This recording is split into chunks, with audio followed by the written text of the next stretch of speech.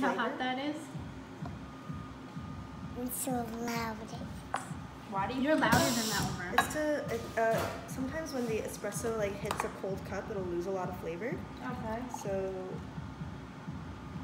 if you want to kind of keep it at the same temperature, it retains a lot of the flavor. Okay.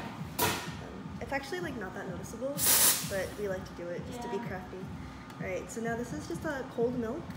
And I'm, I'm gonna use the steam to uh, inject air and heat into it. So feel the cup right now, it's cold, right? Inject it- means to put inside, like injection, Yeah. like a shot. And now I'm gonna make the milk hot and also make it foamy.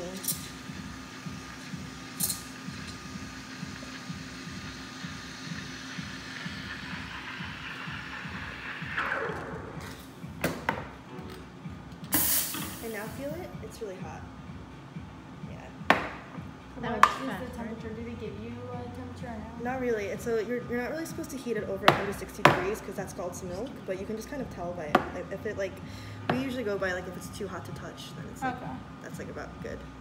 Right now, we're gonna mix the milk into the espresso, and then now we're gonna start drying.